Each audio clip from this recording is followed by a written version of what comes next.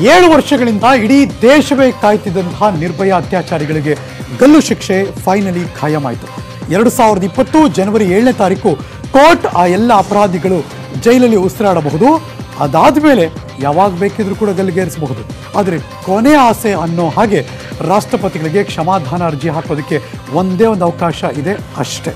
ಅಷ್ಟಕ್ಕೂ ಇವತ್ತು ಸುಪ್ರೀಂ ಕೋರ್ಟ್ನಲ್ಲಿ ಏನೆಲ್ಲ ಆಯಿತು? ನಿಮಗೆ ತೋರಿಸೇ ಬಿಡ್ತೀನಿ. ನೋಡ್ಬಿಡಿ. ನಿರ್ಭಯಾಳನ್ನ ರೇಪ್ ಮಾಡಿ ಕೊಂದು ಹಾಕಿದ್ದ ದುಷ್ಟರಿಗೆ ಕಲ್ಲು ಶಿಕ್ಷೆ ಆಗ್ಬೇಕೆಂದು ಬಯಸಿತ್ತು. ಕೊನೆಗೂ ದೆಹಲಿಯ ನಾಲ್ವರು ಕೀಚಕರಿಗೂ ಮರಣದಂಡನೆಯೇ ಖಾಯಮಾಗಿದೆ. ನಿರ್ಭಯಾಳನ್ನ ಅತ್ಯಾಚಾರ ಮಾಡಿ ಕೊಂದು ಹಾಕಿದ್ದ ನಾಲ್ವರು ಅಪರಾಧಿಗಳು ನೇಣುಗೊಂಬ ಏರುವ ದಿನ ಮತ್ತಷ್ಟು ಹತ್ತಿರವಾಗಿದೆ.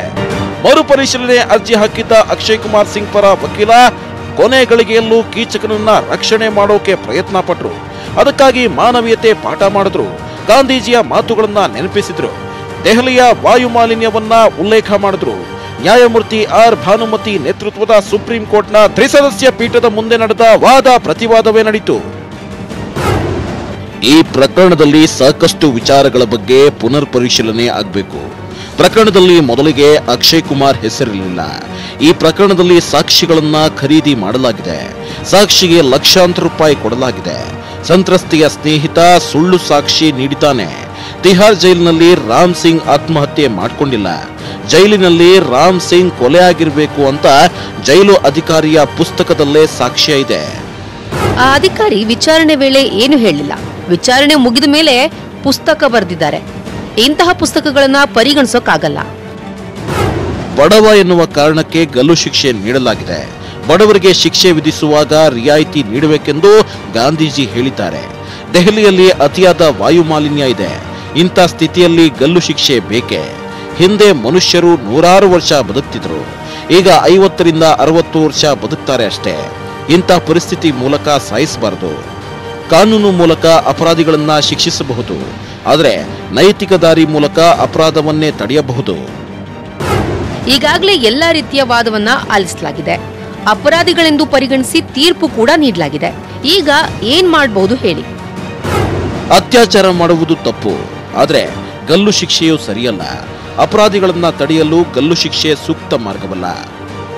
ನಿರ್ಭಯ ಕೇಸ್ ಅತ್ಯಪರೂಪದ ಪ್ರಕರಣ. ಈಗಾಗಲೇ ಮೂರು ಬಾರಿ ತೀರ್ಪು ನೀಡಲಾಗಿದೆ. ಕೆಳಹಂತ ಮತ್ತು ಸುಪ್ರೀಂ ಕೋರ್ಟ್ ಎರಡು ಕಡೆ ತೀರ್ಪು ಬಂದಿದೆ. ಈ ಹಿಂದಿನ ಮೇಲ್ಮನವಿಗಳು ವಜಾ ಆಗಿವೆ ಅಕ್ಷಯ್ ಒಬ್ಬ ರಾಕ್ಷಸ. ಇದು ಗಲ್ಲು ಶಿಕ್ಷೆಗೆ ಅರ್ಹ ಅಪರಾಧ. ಅಕ್ಷಯ್ ಅರ್ಜಿ ತಿರಸ್ಕರಿಸಿ.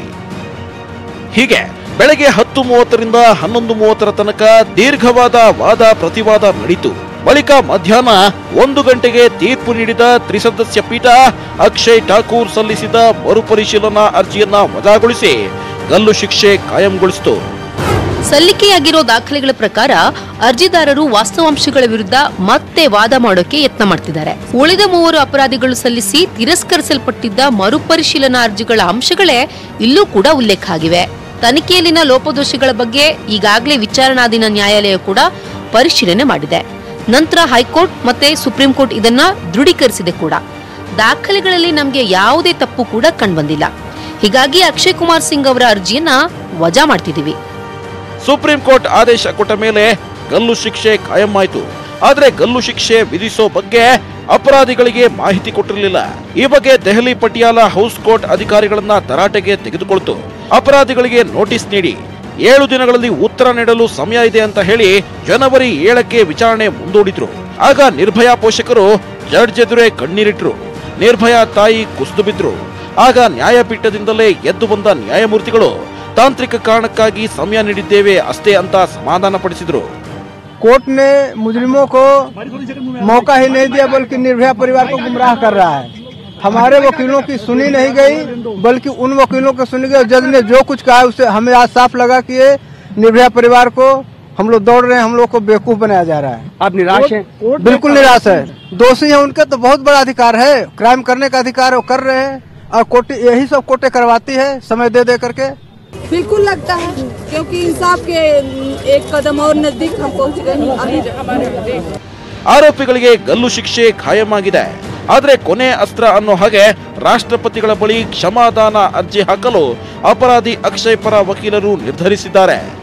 हमने कहा, अभी रिक्वेस्ट की आपके सामने, उन्होंने कहा, जो भी आपके लिए मर्सी पिटीशन का टाइम है, उस दौरान तक कोई डेथ वारंट जारी नहीं हो सकता, क्योंकि सॉलिसिटर जनरल ने भी कहा कि सात दिन का टाइम संविधान में दिया गया है कि रिव्यू पिटीशन डिसमिस होने के बाद सात दिन के अंदर आप मर्सी पिटीशन फ़ाइल कर सकते हैं। तो इसका टाइम सुप्रीम कोर्ट ने अपने ऑर्डर में भी जस्टिस आर भानुमति ने लिखा है। क्योरिटी पहले फ़ाइल करूँगा और उसके बाद आगे का प्रोसेस हमें क्योरिटी में भी विश्वास है कि हमें पब्लिक प्रेशर हमारे साथ नहीं है पब्लिक ಸುಪ್ರೀಂ ಕೋರ್ಟ್ ತನ್ನ ಅಂತಿಮ ನಿರ್ಧಾರ ಪ್ರಕಟಿಸಿದೆ ದೆಹಲಿ ಪಟಿಯಾಲ ಕೋರ್ಟ್ ಕೂಡ ಗಲ್ಲು ಶಿಕ್ಷೆ ವಿಧಿಸ್ತಿದ್ದೀವಿ ಅಂತ ಅಪರಾಧಿಗಳಿಗೆ ತಿಳಿಸಲು ಸಮಯ ನೀಡಿದೆ ಇಡೀ ದೇಶವೇ ಅಪರಾಧಿಗಳಿಗೆ ಶಿಕ್ಷೆ ಆಗಲಿ ಅಂತ ಕಾಯ್ತಿದ್ದು ರಾಷ್ಟ್ರಪತಿಗಳು ಕ್ಷಮಾದಾನ ಕೊಡ್ತಾರೆ ಅನ್ನೋ ನಂಬಿಕೆಯೂ ಜನರಿಗಿಲ್ಲ ಒಟ್ಟಲ್ಲಿ ಹತ್ಯಾಚಾರಿಗಳಿಗೆ ಇನ್ನೂ ಉಳಿಗಾಲವಿಲ್ಲ bureau report news eighteen Kannada.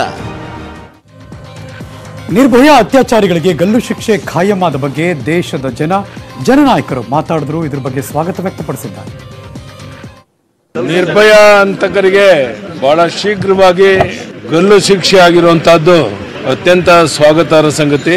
ಬಹಳ ತ್ವರಿತಗತಿಯಲ್ಲಿ ಈ ತೀರ್ಮಾನ ತಗೊಂಡಂತ ಒಂದು ಈ ಘಟನೆ. ಈ ತರ ಘಟನೆಗಳಲ್ಲಿ ಪಾಲ್ಗೊಳ್ಳೋರಿಗೆ ಒಂದು ಎಚ್ಚರಿಕೆ ಗಂಟೆ ಆಗಿದೆ ಅಂತ ನಾನು ಭಾವಿಸಿದ್ದೇನೆ. I think that, that that is that is the opinion of the entire country, citizens. I welcome it. ನ್ಯಾಯಾಲಯದಿಂದ ಏನು ತೀರ್ಪು ಸಿಕ್ಕಿದೆ ಅದೆಲ್ಲರಿಗೂ ತುಂಬ ಖುಷಿ ಕೊಟ್ಟಿದೆ ಇದೇ ಥರ ನೆಕ್ಸ್ಟ್ ಯಾರು ಮಾಡ್ತಾರೋ ಅವ್ರಿಗೆಲ್ಲ ಇದೇ ತೀರ್ಪನ್ನ ಸಂವಿಧಾನದಲ್ಲಿ ಏನಾದರೂ ತಿದ್ದುಪಡಿ ಸಾಧ್ಯ ಆದರೆ ಅದನ್ನು ಮಾಡಿ ತಕ್ಷಣವಾಗಿ ಜಾರಿ ಮಾಡಬೇಕು ಅಂತ ಕೇಳ್ಕೊತೀನಿ ಕಳೆದ ನಾಲ್ಕೈದು ದಿನಗಳಿಂದ ಉತ್ತರ ಭಾರತ ಅದರಲ್ಲೂ ಈಶಾನ್ಯ ಭಾರತ ಹೊತ್ತಿ ಉರಿತಾ ಇದೆ ಅಂದ್ರೆ ಅದು ಪೌರತ್ವದ ಕಿಚ್ಚಿನಿಂದ ಯಾಕೋ ಏನೋ ಇದು ಆರು ಲಕ್ಷಣ ಕಾಣಿಸ್ತಾನೆ ಇಲ್ಲ. ಇವತ್ತು ಅದೇ ಪ್ರತಿಭಟನೆ, ಗಲಾಟೆ, ಗದ್ದಲ, ಹಿಂಸಾಚಾರಕ್ಕೆ ಬ್ರೇಕ್ ಹಾಕಬೇಕಿದ್ದ ನಮ್ಮ ಜನನಾಯಕರು ಬೆಂಕಿ ಹಚ್ಚೋ ಮಾತುಗಳನ್ನು ಆಡಿದ್ರು. ಇನ್ನೊಂದು ಕಡೆ ನೋಡಿ, ಸುಪ್ರೀಂ ಕೋರ್ಟ್ನಲ್ಲೂ ಕೂಡ ಇವತ್ತು ಪೌರತ್ವದ ಅರ್ಜಿ ವಿಚಾರಣೆ ಕೂಡ ನಡೀತು. ಇದ್ರ ಬಗ್ಗೆ ಸ್ಪೆಷಲ್ ರಿಪೋರ್ಟ್ ಇಲ್ಲಿದೆ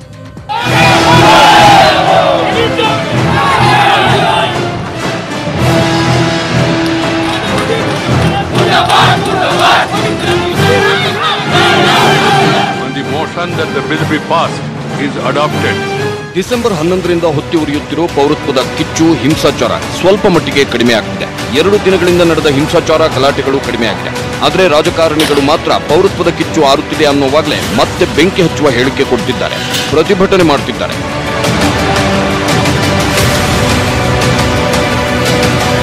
ಕೋಲ್ಕತ್ತಾದಲ್ಲಿ ಸಿಎಂ ಮಮತಾ ಬ್ಯಾನರ್ಜಿ ರ್ಯಾಲಿ ನಡೆಸಿ ಮತ್ತೆ ಪೌರತ್ವ ತಿದ್ದುಪಡಿ ಕಾಯ್ದೆ ಮತ್ತು ಎನ್ಆರ್ಸಿ ವಿರುದ್ಧ ಪ್ರತಿಭಟನೆ ವ್ಯಕ್ತಪಡಿಸಿದ್ರು ಮಧ್ಯಪ್ರದೇಶದ ಭೋಪಾಲ್ನಲ್ಲಿ ದಿಗ್ವಿಜಯ್ ಸಿಂಗ್ ಪ್ರತಿಭಟನೆ ಮಾಡಿದ್ರೆ ಚೆನ್ನೈನಲ್ಲಿ ತಮಿಳು ನಾಯಕ ಸಿಮನ್ ಕಮಲ್ ಹಾಸನ್ ಪ್ರತಿಭಟನೆ ನಡೆಸಿದ್ರು.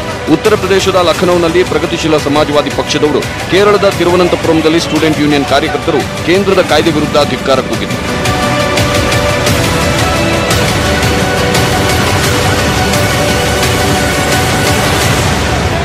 ಪೌರತ್ವದ ವಿರುದ್ಧ ಸಣ್ಣಪುಟ್ಟ ಪ್ರತಿಭಟನೆ ಮಾಡುತ್ತಿದ್ದ ಕರ್ನಾಟಕದಲ್ಲಿ ಕಿಚ್ಚು ಹಚ್ಚುವ ಹೇಳಿಕೆಗಳು ಕಾಂಗ್ರೆಸ್ ನಾಯಕರ ಬಾಯಲ್ಲಿ ಬಂದಿದೆ. ಮಾಜಿ ಸಚಿವ ಯುಟಿ ಖಾದರ್ ಕರ್ನಾಟಕದಲ್ಲಿ ಪೌರತ್ವ ಕಾಯ್ದೆ ಎನ್ಆರ್ಸಿ ಜಾರಿ ಮಾಡಿದ್ರೆ ಹೊತ್ತಿ ಉರಿಯುತ್ತೆ ಅಂತ ಹೇಳಿಕೆ ಕೊಟ್ಟಿದ್ದಾರೆ. ನಮ್ಮ ರಾಜ್ಯದ ಮುಖ್ಯಮಂತ್ರಿಗೆ ನಾನು ನನ್ನ ಸಲಹೆ ಮತ್ತು ನನ್ನ ಮನವಿ ಮತ್ತು ನಾವು ಎಚ್ಚರಿಕೆಯನ್ನು ಕೊಡ್ತಾ ಇದ್ದೇವೆ. ಏನಾದ್ರೂ ಪಕ್ಷ ಕರ್ನಾಟಕದಲ್ಲಿ ನೀವು ಇದನ್ನು ಜಾರಿಗೆ ತರುವಂತ ಯೋಚನೆ ಮಾಡಿದ್ರೆ ಕರ್ನಾಟಕ ಕೂಡ ಹೊತ್ತಿ ಉರಿಲಿಕ್ಕೆ ದಿವಸಗಳಿಲ್ಲ. ಇದಕ್ಕೆ ನೀವು ಇಲ್ಲಿ ಅವಕಾಶ ಮಾಡಿ ಕೊಡಬೇಡಿ ಅಂತ ಹೇಳಲಿಕ್ಕೆ ಕೆಲಸ ನಾವು ಇವತ್ತು ಮಾಡುವಂತ ಖಾದರ್ ಹೇಳಿಕೆಗೆ ಸಚಿವ ಸಿಟಿ ರವಿ ರೇಣುಕಾಚಾರ್ಯ ಏಕವಚನದಲ್ಲೇ ತಿರುಗೇಟು ಕೊಟ್ಟರು. ಏನಾದ್ರೂ ಪಕ್ಷ ಕರ್ನಾಟಕದಲ್ಲಿ ನೀವು ಇದನ್ನು ಜಾರಿಗೆ ತರುವಂತ ಯೋಚನೆ ಮಾಡಿದ್ರೆ ಕರ್ನಾಟಕ ಕೂಡ ಹೊತ್ತಿ ಉರಿಲಿಕ್ಕೆ ದಿವಸಗಳಿಲ್ಲ. ಖಾದರ್ ಹಕ್ಕನ್ನು ಕಿತ್ಕೊಂಡಿಲ್ಲ. ಖಾದರ್ ಯಾರೋ ಪಾಕಿಸ್ತಾನದಿಂದ ನೆಂಟರು ಕರ್ಕೊ ಬರಬೇಕು ಅಂದರೆ ಅವ್ರಿಗೆ ನಾವು ಕೊಡಲ್ಲ. ಈ ದೇಶ ಈ- ರಾಷ್ಟ್ರವನ್ನು ಭಾರತವಾಗಿ ಉಳಿಸ್ಕೊಳ್ಬೇಕು ಅನ್ನೋಂಥ ಕಾಳಜಿ ಇರೋನು ಯಾರೂ ಒಪ್ಕೊಳ್ಳಲ್ಲ. ಈ ಬಾ, ಭಾರತವನ್ನು ಪಾಕಿಸ್ತಾನ ಮಾಡಬೇಕು ಅನ್ನೋಂಥ ಮನಸ್ಥಿತಿಯಲ್ಲಿ ಕೆಲವರು ಇರ್ಬೋದು. ಅದ್ರಲ್ಲಿ ಕಾದರೂ ಇರ್ಬೋದು. ಭಾರತವನ್ನು ಪಾಕಿಸ್ತಾನ ಮಾಡೋಕ್ಕೆ ಬಿಡಲ್ಲ. ಪಾಕಿಸ್ತಾನ ಮಾಡಬೇಕು ಅನ್ನೋರನ್ನು ಪಾಕಿಸ್ತಾನ ಕಳಿಸ್ತೀವಿ. ನಿನ್ನ ತಾಕತ್ತಿದ್ರೆ ಕರ್ನಾಟಕ ಬೆಂಕಿ ತುರ್ಲಿ ಕರ್ನಾಟಕ ಶಾಂತಿಗೆ ಮತ್ತೊಂದು ಹೆಸರು. ಅಧಿವೇಶನದಲ್ಲಿ ಯಾವ ರೀತಿ ಭಾಗ ತಾಕತ್ತಿದ್ರು ಭಾಗವಹಿಸು ಅಲ್ಲಿ ನಿನಗೆ ಸರಿಯಾದ ಉತ್ತರವನ್ನು ಕೊಡ್ತೀವಿ ಅಂತೇಳಿ ಇಂಥ ಮೂರ್ಖರಿಗೆ ಯು ಟಿ ಖಾದರೊಬ್ಬ ಮಾಜಿ ಸಚಿವ ನಾಲ್ಕು ಬಾರಿ ಶಾಸಕರಿದ್ದಾರೆ ಗೌರವದಿಂದ ಮಾತಾಡಬೇಕು ಇದೇ ರೀತಿ ಮಾತಾಡಿದ್ರೆ ನಿನ್ನ ಭಾಷೆಯಲ್ಲಿ ನಾವು ತಕ್ಕ ಉತ್ತರವನ್ನು ಕೊಡಬೇಕಾಗುತ್ತೆ. ಇನ್ನೊಂದು ಕಡೆ ಪೌರತ್ವ ಕಾಯ್ದೆ ಮತ್ತು ಎನ್ಆರ್ಸಿ ಬಗ್ಗೆ ಸಂಸದ ಪ್ರಜ್ವಲ್ ರೇವಣ್ಣ ಕೂಡ ವಿರೋಧ ವ್ಯಕ್ತಪಡಿಸಿದ್ರು. ಈಗ ಸಿ ಎ ಬಿಲಿ ನೀವು ಅಂದ್ರೆ ಒಂದು ಜಾತಿನ ಇಟ್ಕೊಂಡು ಒಂದು ಇಮಿಗ್ರೇಷನ್ ಫ್ಯಾಕ್ಟ್ರಲ್ಲಿ ತರ್ತೀರ? ಅದಕ್ಕೆ ನಮ್ಗೆ ವಿರೋಧ ಇದೆ. ಕೊಡೋದಾದರೆ ಅವ್ರಿಗೂ ಕೊಡಿ, ಇಲ್ಲ ಕೊಡಬೇಡಿ ಅಂದ್ರೆ ಕೊಡಲೇಬೇಡಿ ಯಾರಿಗೂ ಹಾಗಾಗಿ ಸುಮ್ಮನೆ ನೀವು ಕೇವಲ ಒಂದು ಯಾವುದೋ ಒಂದು ಫ್ಯಾಕ್ಟರ್ಸ್ ಇಟ್ಕೊಂಡು ಒಂದು ದೇಶ ಹೊಡೆಯೋಂಥ ಕೆಲಸನ ಮಾಡಬೇಡಿ ಅಂತ ನಾನು, ನನ್ನ ವೈಯಕ್ತಿಕ ಮನಸ್ಸಲ್ಲಿ ನಾನು ಹೇಳೋದಕ್ಕೆ ಇಷ್ಟಪಡ್ತೀನಿ. ಒಟ್ನಲ್ಲಿ ಜನ ಸುಮ್ಮನಾಗ್ತಿದ್ರು ಜನಪ್ರತಿನಿಧಿಗಳ ಹೇಳಿಕೆ, ಜನನಾಯಕರ ಪ್ರತಿಭಟನೆಗಳಿಂದ ಜನ ಮತ್ತೆ ಮತ್ತೆ ರೊಚ್ಚಿಗೇಳುವಂತಾಗ್ತಿದೆ. ಎಲ್ಲವನ್ನ ಸೂಕ್ಷ್ಮವಾಗಿ ಗಮನಿಸುತ್ತಿರುವ ಸುಪ್ರೀಂ ಕೋರ್ಟ್ ಇವತ್ತು ಪೌರತ್ವ ತಿದ್ದುಪಡಿ ಕಾಯ್ದೆಗೆ ಸಂಬಂಧಿಸಿದಂತೆ ತಡೆಯಾಜ್ಞೆ ನೀಡಲು ನಿರಾಕರಿಸಿದೆ. ಗಲಭೆ ಜೊತೆ ಪೌರತ್ವ ತಿದ್ದುಪಡಿ ಕಾಯ್ದೆ ಬಗ್ಗೆ ವಿವರವಾದ ಉತ್ತರ ನೀಡುವಂತೆ ಕೇಂದ್ರ ಸರ್ಕಾರಕ್ಕೆ ನೋಟಿಸ್ ನೀಡಿದ್ದು, ಅರವತ್ತು ಅರ್ಜಿಗಳ ವಿಚಾರಣೆಯನ್ನ ಎರಡು ಜನವರಿ ಇಪ್ಪತ್ತೆರಡಕ್ಕೆ ಮುಂದೂಡಿದೆ. Bureau report, news eighteen Kannada. ನಮ್ಮ ರಾಜ್ಯದ ಕಳಸಾ ಬಂಡೂರಿ ಯೋಜನೆಗೆ ಅನುಮತಿ ನೀಡಿದ್ದ ಪತ್ರವನ್ನ ಪರಿಸರ ಮತ್ತು ಅರಣ್ಯ ಸಚಿವಾಲಯ ತಡೆ ಹಿಡಿದಿದೆ. ಬೈಲಕ್ಷನ್ಗೂ ಮುಂಚೆ ಕುಡಿಯುವ ನೀರು ಪೂರೈಕೆ ಯೋಜನೆಗೆ ಎರಡ್ ಸಾವಿರದ ಹತ್ತೊಂಬತ್ತು ಅಕ್ಟೋಬರ್ ಹದಿನೇಳನೇ ತಾರೀಕು ಅನುಮತಿ ಕೊಟ್ಟಿತ್ತು. ಈಗ ಎಲ್ಲಾ ಕಾನೂನು ವ್ಯಾಜ್ಯಗಳು ಇತ್ಯರ್ಥವಾಗುವವರೆಗೆ ತಡೆ ಹಿಡಿದಿರುವುದಾಗಿ ಕೇಂದ್ರ ಅರಣ್ಯ ಸಚಿವ, ಸಚಿವಾಲಯ ಪತ್ರ ಕೂಡ ಹೊರಡಿಸಿದೆ. ಗೋವಾ ಸರ್ಕಾರದ ಒತ್ತಡಕ್ಕೆ ಮಣಿದು ಕೇಂದ್ರ ಸರ್ಕಾರ ಈ ಇಬ್ಬಗೆ ನೀತಿ ಅನುಸರಿಸಿದೆ. ಆದರೆ ಸಿಎಂ ಯಡಿಯೂರಪ್ಪನವರು, ನಾವು ಕರ್ನಾಟಕಕ್ಕೆ ಅನ್ಯಾಯ ಆಗೋದಕ್ಕೆ ಬಿಡಲ್ಲ ಅಂದರು. ಇನ್ನು ಕುಮಾರಸ್ವಾಮಿ ಕೂಡ ಟ್ವೀಟ್ ಮಾಡಿದ್ದಾರೆ. ಕನ್ನಡಿಗರ ಆತ್ಮಾಭಿಮಾನ ಕೆಣಕಬೇಡಿ. ಬಿಜೆಪಿ ನಾಯಕರು ಕನ್ನಡಿಗರನ್ನ ದಾಸ್ಯಕ್ಕೆ ಈಡು ಮಾಡುವ ದಲ್ಲಾಳಿಗಳಾಗಿದ್ದಾರೆ ಅಂತ ಗುಡುಗಿದ್ದಾರೆ. ಇನ್ನು ಎಚ್ ಕೆ ಪಾಟೀಲ್ ಕೂಡ ಟ್ವೀಟ್ ಮಾಡಿ ತಮ್ಮ ಆಕ್ರೋಶವನ್ನ ಹೊರಹಾಕಿದ್ರು. ಸಿದ್ದರಾಮಯ್ಯನವರಂತೂ ಒಂದರ ಹಿಂದೆ ಒಂದು ಟ್ವೀಟ್ ಮಾಡ್ತಾನೆ ಇದ್ದಾರೆ. ಬಿಜೆಪಿ ಸರ್ಕಾರವನ್ನ, ಯಡಿಯೂರಪ್ಪನವರನ್ನ, ಕೇಂದ್ರ ಸರ್ಕಾರವನ್ನ ತರಾಟೆಗೆ ತೆಗೆದುಕೊಳ್ತಾನೆ ಇದ್ದಾರೆ. ಕೇಂದ್ರ ಮತ್ತು ರಾಜ್ಯದಲ್ಲಿ ಒಂದೇ ಪಕ್ಷದ ಸರ್ಕಾರ ಇದ್ರೆ ರಾಜ್ಯದ ಭಾಗ್ಯದು ಬಾಗಿಲು ತೆರೆಯುತ್ತೆ ಅಂತ ಅಂದಿದ್ರು ಸುಳ್ಳ, ತಕ್ಷಣ ಸರ್ವಪಕ್ಷಗಳ ಸಭೆ ಕರಿಬೇಕು, ಪ್ರಧಾನಿ ಭೇಟಿ ಮಾಡಿಸಿ ಒತ್ತಡ ಹೇರೋದಕ್ಕೆ ಸರ್ವಪಕ್ಷಗಳ ನಿಯೋಗವನ್ನ ಕರ್ಕೊಂಡು ಹೋಗಬೇಕು. ಬಿಜೆಪಿ ನಾಯಕರು, ಪ್ರಧಾನಿ ಮೋದಿ ಎದುರು ತುಟಿ ಬಿಚ್ಚಲ್ಲ, ರಾಜ್ಯದ ಜಾಗೃತ ಜನತೆಯೇ ಮಾತಾಡಬೇಕು. ಇದು ಕನ್ನಡಿಗರ ನಂಬಿಕೆಗೆ ಬಗೆದಂತಹ ದ್ರೋಹ.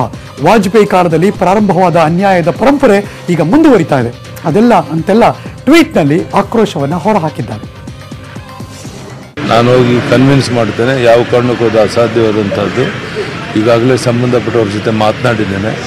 ಅದಾಗದಂತೆ ವಾಪಸ್ ಅದನ್ನು ತಗೊಂಡು ಮಾದಾಯಿ ಶಿವನಪುರ್ ತೀರ್ಪನ್ನು ಸರಿಪಡಿಸಿ ಅವರು ಮಾದಾಯಿ ಬಹಳ ವರ್ಷಗಳ ನಮ್ಮ ಒಂದು ಹೋರಾಟ, ಅದಕ್ಕೆ ನ್ಯಾಯ ಈ ಕೇಂದ್ರದವರು ಯಾವತ್ತಿಗೂ ಸ್ವಾರ್ಥ ರಾಜಕಾರಣ ಮಾಡ್ತಾರೆ ಬಿ ಜೆ ಪಿಯವರು ಚುನಾವಣೆ ಬಂದಾಗ ಒಂದು ರೀತಿಯಲ್ಲಿ ಹೇಳಿಕೆಗಳು ಇರ್ತವೆ. ಚುನಾವಣೆ ಮುಗಿದ ನಂತರ ಒಂದು ರೀತಿಯಲ್ಲಿ ಹೇಳಿಕೆಗಳಿರ್ತವೆ ಅವರಿಗೆ ಯಾವಾಗಲೂ ತಮ್ಮ ಸ್ವಾರ್ಥ ರಾಜಕಾರಣ ಮಾಡೋದ್ರಲ್ಲೇ ತಲ್ಲೀನರಾಗಿದ್ದಾರೆ. ಇವತ್ತು ಕರ್ನಾಟಕ ರಾಜ್ಯಕ್ಕೆ ಏನೇ ಅನ್ಯಾಯ ಆದರೂ ಕಾಂಗ್ರೆಸ್ ಪಕ್ಷದಿಂದ ಹೋರಾಟ ಮಾಡ್ತೇವೆ. ಕೇಂದ್ರ ಸರ್ಕಾರವು ಈ ಕೊಟ್ಟಂತ ಅನುಮತಿಯನ್ನು ತಿರಸ್ಕರಿಸಿದೆ. ಆದ್ದರಿಂದ ನಾವು ಕರ್ನಾಟಕ ರಾಜ್ಯಾದ್ಯಂತ ಇದನ್ನು ತೀವ್ರವಾಗಿ ಖಂಡಿಸ್ತೇವೆ. ಯಾಕಂತ ಹೇಳಿದರೆ ನಮ್ಮ ನೆಲದಲ್ಲಿ ಹುಟ್ಟಿದಂಥ ನೀರು ಇಂದು ಗೋವಾ ಮಾರ್ಗವಾಗಿ ಅರಬ್ಬಿ ಸಮುದ್ರ ಸೇರ್ತಾ ಇದೆ. ನಾವು ನಮ್ಮ ನೀರನ್ನು ಕೇಳಿದ್ದೇವೆ. ಇಲ್ಲದಿದ್ದರೆ ನಾವು ಮುಂದಿನ ದಿನಮಾನಗಳಲ್ಲಿ ನಮ್ಮ ಕರ್ನಾಟಕ ರಾಜ್ಯದಿಂದ ಗೋವಾಕ್ಕೆ ಹೋಗುವಂಥ ಎಲ್ಲ ಆಹಾರ ಪದಾರ್ಥಗಳನ್ನು, ದವಸ ಧಾನ್ಯಗಳನ್ನು ಬಂದ್ ಮಾಡುವುದರ ಮುಖಾಂತರ ನಾವು ಅವರಿಗೆ ಎಚ್ಚರಿಕೆಯನ್ನು ಕೊಡ್ತೇವೆ. ನರೇಂದ್ರ ಮೋದಿ ಅವರೇ, ನೀವು ಕರ್ನಾಟಕಕ್ಕೆ ಬರೋದಾದರೆ ಕಳಸಾ ಬಂಡೂರು ಬಗ್ಗೆ ಸ್ಪಷ್ಟೀಕರಣ ಕೊಡಬೇಕು. ಇಲ್ಲದಿದ್ದರೆ ತುಮಕೂರಲ್ಲಿ ನಿಮ್ಮ ವಿರುದ್ಧ ಕಪ್ಪು ಬಟ್ಟೆ ಪ್ರದರ್ಶನ ಮಾಡೋದು ಕರ್ನಾಟಕದ ರೈತರ ಅನಿವಾರ್ಯ ಪರಿಸ್ಥಿತಿ ಬರ್ತದೆ. ಬಿ ಎಸ್ ಯಡಿಯೂರಪ್ಪನವರೇ, ತಾವು ಹೋರಾಟದಿಂದ ಬಂದಂಥವರು ಯಡಿ ಮುಖ್ಯಮಂತ್ರಿ ಆಗೋಗ ಹಸಿರು ಶಾಲನ್ನು ಹಾಕೊಂಡಿರ್ತಾವೆ ಮುಖ್ಯಮಂತ್ರಿ ಆಗಿರಿ ಉತ್ತರ ಕರ್ನಾಟಕದ ರೈತರಿಗೆ ನಿರ್ಲಕ್ಷ್ಯ ಮಾಡಬೇಕಾದ್ರೆ ನಿಮ್ಮ ವಿರುದ್ಧ ಕೂಡ ಕಪ್ಪು ಬಟ್ಟೆ ಪ್ರದರ್ಶನ ಮಾಡೋದು ಅನಿವಾರ್ಯ ಆಗ್ತದೆ ಅಂತೇಳಿ ಈ ದಿಸೆಯಲ್ಲಿ ಹೇಳಿಕೆ ನಾ ಇಚ್ಛೆ ಪಡ್ತೀನಿ. ಮಾದಾಯ ವಿಷಯದೊಳಗೆ ಕೇಂದ್ರ ಸರ್ಕಾರ ಹಾಗೂ ಈ ರಾಜ್ಯದಲ್ಲಿರುವಂಥ ಬಿಜೆಪಿ ಸರ್ಕಾರ ಗೋವಾ ಸರ್ಕಾರ ಎಲ್ಲ ಸೇರಿಕೊಂಡು ಇದು ಬಗೆಹರಿಸಬೇಕು. ಬಗೆಹರಿಸಲಿಲ್ಲ ಅಂತಂದ್ರೆ ಮುಂದೆ ಬರೋ ದಿನಗಳೊಳಗೆ ಈ ನಾವು ಉತ್ತರ ಕರ್ನಾಟಕದ ರೈತರು, ಕಾರ್ಮಿಕರು ದಲಿತ ಸಂಘಟನೆಗಳು ಎಲ್ಲ ಸಂಘಟನೆಗಳಿಗೆ ಸೇರಿಕೊಂಡು ಇವರ ವಿರುದ್ಧ ಹೋರಾಟ ಮಾಡಲಿಕ್ಕೆ ನಾವು ಶುರು ಮಾಡ್ತೇವೆ ಅಂತ ಹೇಳಿ ಸಂವಿಧಾನದ ದುರ್ಬಳಕೆ ಮಾಡಿಕೊಂಡಿದ್ದಾರೆ. ಹೋರಾಟದಲ್ಲಿ ಹತ್ತಾರು ಜನ ಸತ್ತಿದ್ದಾರೆ. ನಮ್ಮನ್ನು ಕೇಳಿ ನಾವು ಬಂದು ನಿಮಗೆ ಮನವಿ ಕೊಡ್ತೀವಿ. ದಯವಿಟ್ಟು ನಾವು ಮನವಿ ಕೊಡ್ತೀವಿ ಅಂತ ಹೋಗಿ ಮೂರು ದಿನ ಕುಂತರು. ರಾಜ್ಯಪಾಲರು, ನಮ್ಮ ಮನವಿ ತಗೊಳ್ಳಿಕ್ಕೆ ಅವ್ರಿಗೆ ಸಮಯ ಸಿಗಲಿಲ್ಲ. ಇವತ್ತು ಗೋವಾದ ರಾಜ್ಯಪಾಲರು ಹೋಗಿ ಇವತ್ತು ಪ್ರಧಾನಮಂತ್ರಿನ ಭೇಟಿಯಾಗಿ ತಮ್ಮ ರಾಜ್ಯದ ವಾಸ್ತುಸ್ಥಿತಿ ಹೇಳ್ತಾರಂದ್ರ ಇವತ್ತು ನಮ್ಮ ರಾಜ್ಯದಲ್ಲಿರುವಂತ ರಾಜ್ಯಪಾಲರಿಗೆ ಏನಾಗಿದೆ? ಯಾಕೆ ಮಂಕಾಗಿದ್ದಾರೆ ಅವರು? ಅವ್ರ ಮೇಲೆ ಗೌರವ ಇದೆ ನಮಗೆ. ಕೇಂದ್ರ ಸರ್ಕಾರ ಮಾದಾಯಿ ಯೋಜನೆ ಇಂದು ಪರಿಸರ ಇಲಾಖೆ ರದ್ದು ಮಾಡೈತಿ. ಇದು ಹಿಂದೆ ಎರಡು ತಿಂಗಳ ಹಿಂದೆ ಅದೇ ಪರಿಸರ ಕೇಂದ್ರ ಪರಿಸರ ಇಲಾಖೆ ಅನುಮತಿ ನೀಡಿತ್ತು. ಇದರಲ್ಲಿ ಗೋವಾ ಸರ್ಕಾರದ ಒಂದು ಕುಮ್ಮಕ್ಕಿನಿಂದ ಈ ಕೇಂದ್ರ ಸರ್ಕಾರ ಇವತ್ತು ರದ್ದುಗೊಳಿಸಿದೆ. ಏನು ಕಳಸಾ ಬಂಡೂರಿ ಯೋಜನೆಗೆ ಕೇಂದ್ರ ಪರಿಸರ ಮತ್ತು ಅರಣ್ಯ ಇಲಾಖೆ ಮಂಜೂರಾತಿ ನೀಡಿತ್ತು. ಅದನ್ನ ಈಗ ಗೋವಾ ಲಾಬಿಗೆ ಮಣಿದು ಕೇಂದ್ರ ಸರ್ಕಾರ ಅದನ್ನು ವಾಪಸ್ ಪಡೆದಿದೆ. ಇದರಿಂದ ಹೆಂಗಂತಂದ್ರೆ ಈಗ ನಮ್ಮ ಮಾದಾಯಿ ಕಸ ಬಂಡೂರು ಯೋಜನೆಗಾಗಿ ಮೂರು ವರ್ಷ ಸತತವಾಗಿ ಹೋರಾಟ ನಡೆದು ಇಲ್ಲಿ ಎಷ್ಟೋ ಜನ ಚಾಕು ಹಾಕ್ಕೊಳೋದಾಯ್ತು ವಿಷ ಕುಡಿಯೋದಾಯ್ತು, ಎಲ್ಲ ರೀತಿ ಹೋರಾಟ ಆದರೂ ಅದ್ರ ಬಗ್ಗೆ ಕಿಂಚಿತ್ತು ಕಾಳಜಿ ಇಲ್ಲ. ಇಪ್ಪತ್ತೈದು ಸಂಸದರು ಆರಿಸಿ ಕಳಿಸಿರೋ ಕರ್ನಾಟಕಕ್ಕೆ ಎರಡು ಸಂಸದರು ಆರಿಸಿರೋ ಗೋವಾ ಸರ್ಕಾರಕ್ಕೆ ಕೇಂದ್ರ ಸರ್ಕಾರ ಮಾಡಿದೈತಿ ಅಂದ್ರೆ ನಮ್ಮ ಇಪ್ಪತ್ತೈದು ಸಂಸದರು ಏನು ಮಾಡತ್ತಾರ? ಹಾಂ ಮತ್ತು ನಮ್ಮ ಕರ್ನಾಟಕದ ಕೇಂದ್ರ ಸಚಿವರು ಏನು ಮಾಡಾತ್ತಾರ? ಇಲ್ಲಿ ಹೇಗಾಗಿದೆ ಅಂತಂದ್ರೆ ರಾಜಕಾರಣಿಗಳಿಗೆ ಇದ್ರ ಬಗ್ಗೆ ಕಾಳಜಿನೇ ಇಲ್ಲ. ವೆಲ್ಕಮ್ ಬ್ಯಾಕ್ ಭಾರತೀಯ ಜನತಾ ಪಕ್ಷದಲ್ಲಿ ಡಿಸಿಎಂ ಸ್ಥಾನಕ್ಕೆ ಫೈಟ್ ಅಂತೂ ತುಂಬಾ ಜೋರಾಗಿ ನಡೀತಾ ಇದೆ. ಉಪಮುಖ್ಯಮಂತ್ರಿಗಳ ಮೇಲೆ ಗುಟ್ರು ಹಾಕಿದ್ದ ಗೂಳಿಗೆ ಡಿಸಿಎಂ ಮೂಗ್ದಾರ ಹಾಕೋದಕ್ಕೆ ಹೋದ್ರು. ಆದರೆ ಗೂಳಿ ಡಿಸಿಎಂಗೆ ತಿವಿದು ಬಿಡ್ತು. ಅದಕ್ಕೆ ಹಾದಿ ಬೀದಿಯಲ್ಲಿ ಗುಟ್ರು ಹಾಕಬೇಡ ಅಂತ ಗೂಳಿಗೆ ಪಕ್ಷದ ನಾಯಕರು ಈಗ ಮೂಗ್ದಾರ ಹಾಕಿದ್ದಾರೆ. ಗೂಳಿ ಹತ್ರ ಎರಡೆರಡು ಸಲ ಸಿಕ್ಕಾಕೊಂಡು ಬಚಾವಾದ ಮೇಲೆ ಹೊನ್ನಾಳಿ ಶಾಸಕ ರೇಣುಕಾಚಾರ್ಯ ಈಗ ಬಿಜೆಪಿಯಲ್ಲಿ ಗೂಳಿ ಅಂತಾನೆ ಫೇಮಸ್ ಆಗಿಬಿಟ್ಟವ್ರೆ. ಪಕ್ಷದ ಹೊರಗಿನವರಿಗೆ ತಿವಿಯಪ್ಪ ಸಾಕು ಅಂದ್ರೆ ಪಕ್ಷದ ಒಳಗೆ ಅದರಲ್ಲೂ ಡಿಸಿಎಂ ಅಶ್ವತ್ಥ ನಾರಾಯಣ್ಗೆ ರೇಣುಕಾಚಾರ್ಯ ಮಾತಲ್ಲೇ ತಿವಿದು ಸುದ್ದಿ ಆಗ್ತವ್ರೆ. ನಿನ್ನೆ ಡಿಸಿಎಂ ಸ್ಥಾನ ತ್ಯಜಿಸಲಿ ಅಂದಿದ್ದ ಗೂಳಿಗೆ ಅಶ್ವತ್ಥ ನಾರಾಯಣ ಬೀದಿಯಲ್ಲಿ ಮಾತನಾಡಬಾರದು ಅಂತ ಮಾತಿನಲ್ಲೇ ತಿವಿದಿದ್ರು.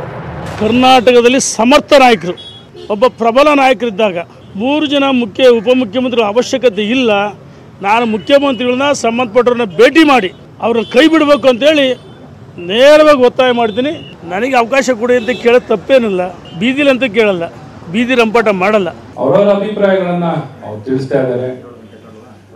ಅದನ್ನ ಹೊರಗೆ ಹೇಳೋದ್ಕಿಂತನೂ ಪಕ್ಷದ ಒಳಗಡೆ ಮತ್ತೆ ಹೇಳೋದು ಬೆಟರ್ ಇರ್ತದೆ. ಇದನ್ನ ಪ್ರಶ್ನೆ ಮಾಡುವಂಥದ್ದು ಸಾರ್ವಜನಿಕವಾಗಿ ಈ ರೀತಿ ಹೇಳಿಕೆ ಕೊಡ್ತಾ ಹೋಗುವಂಥದ್ದು ಅಷ್ಟು ಮಟ್ಟಿಗೆ ಸೂಕ್ತ ಅಲ್ಲ. ನಿನ್ನೆಯೇ ಎಲ್ಲ ತಣ್ಣಗಾಯ್ತು ಅನ್ನುವಾಗ್ಲೇ ಇವತ್ತು ರೇಣುಕಾಚಾರ್ಯ ಮತ್ತೆ ರಾಂಗ್ ಆದ್ರು. ನಿಮ್ಮಿಂದ ನೀತಿ ಪಾಠ ಹೇಳಿಸಿಕೊಳ್ಬೇಕಿಲ್ಲ. ಸಿಎಂ ಬಗ್ಗೆ ಏನಂತ ಹೇಳಿದ್ರೆ ಜನ ಏನಂತಿದ್ದಾರೆ? ಪಕ್ಷದಲ್ಲಿ ನನ್ನ ಮಾತಿಗೆ ಬೆಂಬಲ ಸಿಕ್ಕಿದೆ ಅಂತೆಲ್ಲ ಡಿಸಿಎಂ ಮೇಲೆ ಹೌಹಾರಿದ್ರು. ಇದಕ್ಕೆ ಡಿಸಿಎಂ ಅಶ್ವತ್ಥ ನಾರಾಯಣ್ ಸೈಲೆಂಟ್ ಆಗೇ ತಿರುಗೇಟು ಕೊಟ್ರು. ನಾನು ದಾರಿಲಿ ಬೀದಿಲಿ ಮಾತಾಡಿಲ್ಲ. ಎಲ್ಲಿ ಮಾತಾಡಬೇಕು ಅಲ್ಲೇ ಮಾತಾಡ್ತೀನಿ. ನನಗೆ ಚೆನ್ನಾಗಿ ಗೊತ್ತಿದೆ, ನನಗೆ ಎಚ್ಚರಿಕೆ ಕೊಡೋಕ್ಕೆ, ನನಗೆ ತಿಳುವಳಿಕೆ ಕೊಡೋಕ್ಕೆ ಮಾನ್ಯ ಮುಖ್ಯಮಂತ್ರಿಗಳಿದ್ದಾರೆ ರಾಜ್ಯದ ಅಧ್ಯಕ್ಷದರೆ ನಾನೇನು ಇದ್ರ ಬಗ್ಗೆ ಹೇಳಲಿಕ್ಕೆ, ಯಾಕೆಂದರೆ ನಾನು ಅದು ನಿರ್ಮಾಣ ಮಾಡೋನು ಅಲ್ಲ, ನಿರ್ಧಾರ ತಗೊಳ್ಳೋನಲ್ಲ ನನ್ನ ಪಕ್ಷ ಮತ್ತು ಹಿರಿಯರಿದ್ದಾರೆ ಪಕ್ಷದಲ್ಲಿ, ಮತ್ತು ಮುಸಲ್ಮಾನ ಮುಖ್ಯಮಂತ್ರಿಗಳಿದ್ದಾರೆ. ಏನು ಅವಶ್ಯಕತೆ ಇದೆ? ಯಾವ ರೀತಿ ನಿರ್ಣಯ ತಗೊಂಡ್ರೆ ಒಳ್ಳೆಯದು ಅವ್ರು ನಿರ್ಣಯ ತಗೊಂಡು ಮಾಡ್ತಾರೆ. ಡಿಸಿಎಂ ಅಶ್ವತ್ಥ ನಾರಾಯಣ್ ಪಕ್ಷ ಮತ್ತು ಮುಖ್ಯಮಂತ್ರಿಗಳಿಗೆ ಬಿಟ್ಟಿದ್ದು ಅಂತಿದ್ದಾಗಲೇ ಗೂಳಿ ರೇಣುಕಾಚಾರ್ಯಗೆ ಬಿಜೆಪಿ ರಾಜ್ಯಾಧ್ಯಕ್ಷ ವಿವರಣೆ ಕೇಳಿದ್ರು. ಪಕ್ಷ ಮತ್ತು ಸರ್ಕಾರಕ್ಕೆ ಮುಜುಗರ ಆಗುವ ಹೇಳಿಕೆ ಕೊಟ್ಟಿದ್ಯಾಕೆ ಅಂತ ನೀವೇ ಬಂದು ಉತ್ತರ ಕೊಡಿ ಅಂದ್ರು. ರೇಣುಕಾಚಾರ್ಯ ಕೂಡ ಬಿಜೆಪಿ ಕಚೇರಿಗೆ ಬಂದು ಉದ್ದೇಶಪೂರ್ವಕವಾಗಿ ಹೇಳಿಲ್ಲ. ನನ್ನ ವೈಯಕ್ತಿಕ ಅಭಿಪ್ರಾಯ ವ್ಯಕ್ತಪಡಿಸಿದ್ದೇನೆ ಅಂತ ಸಮಜಾಯಿಷಿ ಕೊಟ್ಟಿದ್ದಾರೆ. ಇದಕ್ಕೆ ನಿಮ್ಮ ಅಭಿಪ್ರಾಯಗಳನ್ನ ಪಕ್ಷದ ವೇದಿಕೆಯಲ್ಲಷ್ಟೇ ಚರ್ಚೆ ಮಾಡಿ ಅಂತ ಕಟೀಲ್ ಸೂಚನೆ ಕೊಟ್ಟಿದ್ದಾರಂತೆ. ಇನ್ನೊಂದ್ ಕಡೆ ಡಿಸಿಎಂ ಹುದ್ದೆ ಆಕಾಂಕ್ಷಿಯಾಗಿರೋ ಸಚಿವ ಅಶೋಕ್, ನಾನು ದೊಡ್ಡವನಲ್ಲ ಅಂದ್ರೆ ರಮೇಶ್ ಜಾರಕಿಹೊಳಿ ಅಥವಾ ಶ್ರೀರಾಮುಲು ಇಬ್ಬರಲ್ಲಿ ಒಬ್ಬರಿಗೆ ಡಿಸಿಎಂ ಹುದ್ದೆ ಕೊಡಬೇಕು ಅಂತ ವಾಲ್ಮೀಕಿ ಸಮುದಾಯದ ಪ್ರಸನ್ನಾನಂದ ಸ್ವಾಮೀಜಿಗಳು ಸಿಎಂಗೆ ಎಚ್ಚರಿಕೆ ಕೊಟ್ಟರು ಹಲವಾರು ಶಾಸಕರು ಅದರ ಬಗ್ಗೆ ವ್ಯಕ್ತ ಮಾಡಿದ್ದಾರೆ, ಬೇಡ ಅನ್ನೋದ್ರ ಬಗ್ಗೆ. ಬಟ್ ನಾನು ನನ್ನ ವೈಯಕ್ತಿಕ ಅಂದರೆ ನಾನು ಅದಕ್ಕೆ ಚರ್ಚೆ ಮಾಡೋಷ್ಟು ದೊಡ್ಡ ವ್ಯಕ್ತಿ ಅಲ್ಲ ನಾನು. ನಾನು ಭಾಳ ಭಾಳ ಭಾಳ ಭಾಳ ಭಾಳ ಸಣ್ಣವನು.